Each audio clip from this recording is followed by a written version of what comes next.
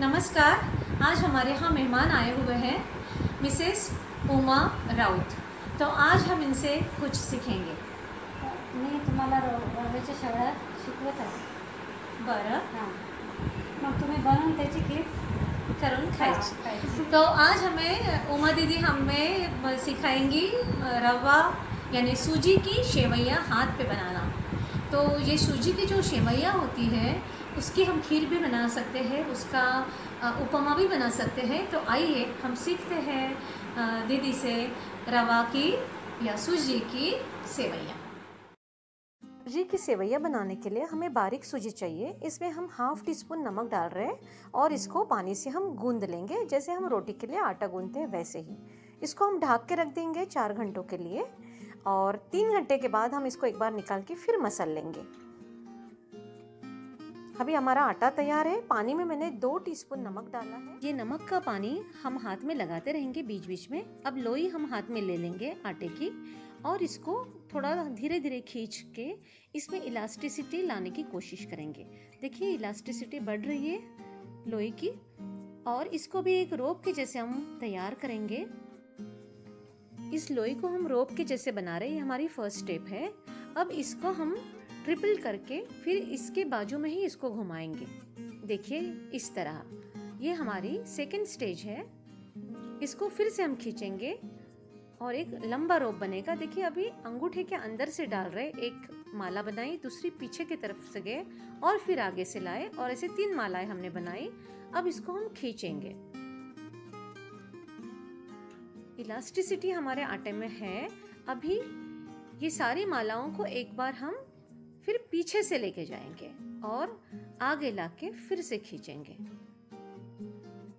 तो ये देखिए, फिर से लंबे हो रहे हैं और बारीक बारीक सेवैयाँ तैयार हो रही है। ये करना काफ़ी कठिन है, पर करने से आ जाता है। बार बार अगर हम प्रैक्टिस करेंगे तो आ जाता है। मैंने दोनों खिड़कियों को रस्सी बांधी हुई है और उस रस्सी के ऊपर हम ये सेवैयाँ डाल रहे हैं। नीचे एक अच्छी चादर बिछाई है। अगर सेवैयाँ रस्सी के ऊपर से नीचे गिर भी जाती है तो हम इसे उठा के अपने आटे में मिक्स कर सकते हैं। सेवैयाँ बनाने की कला धीरे धीरे लुप्त हो रही है तो ये एक बहुत पुरानी आर्ट है, जो हम इसको बढ़ाना चाहते हैं। तो घर में अभी अगर हम करते हैं तो छोटे बड़े भी ये देखकर सीख सकते हैं। इसलिए बच्चे भी सीखे तो अच्छी बात है, और बच्चे कर सकते हैं। ये ज़रूर है कि बहुत अच्छे से उन्हें नहीं आएगा बट एटलीस्ट उन्हें पता तो चलेगा कि हाँ ऐसा भी कुछ होता है।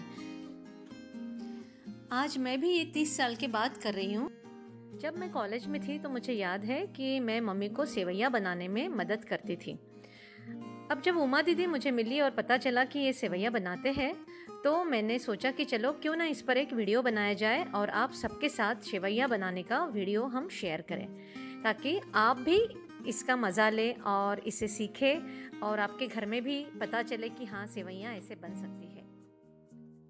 सेवैयाँ बनाते समय कभी आपकी सेवैयाँ मोटी आएगी या टूटेगी तो निराश नहीं होना है, उसको फिर से बनाना है। सेवैयाँ बनाते समय देखिए, ऐसे उसको गोल घुमाना है, ये हमारी सेकंड स्टेप थी। ये अभी माला बनाना हमारी थर्ड स्टेप है। देखिए, माला कैसे बनती है? ऐसे ही माला आपने भी बनानी है। और फिर इसको हम खींचेंगे, हमारी फोर्थ स्टेप होगी। देखिए कैसे धीरे धीरे उसको फैलाना है। फिर से एक बार पीछे से लेंगे, ये हमारी फिफ्थ स्टेप है। और फिर फैला के हम अब रोप पे इसको डालेंगे। ये रोप पे चिपक जाएगी और उसको काटने का भी तरीका देखिए। और जब आटा चिपक जाता है तो हाथ से आटा कैसे खींचना है, ये भी देखिए आप। आटा चिपकता है हाथ को बट वो निकल भी जाता है। पूरा का पूरा आ, आटा आप हाथ पर जो लगा हुआ है देखिए अभी दीदी कैसे हाथ आटा निकालेंगे हाथ से।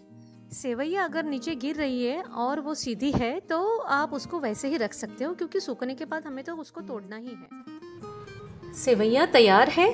अब हम सेवैयों की खीर भी बना सकते हैं या सेवैयों का उपमा भी बना सकते हैं।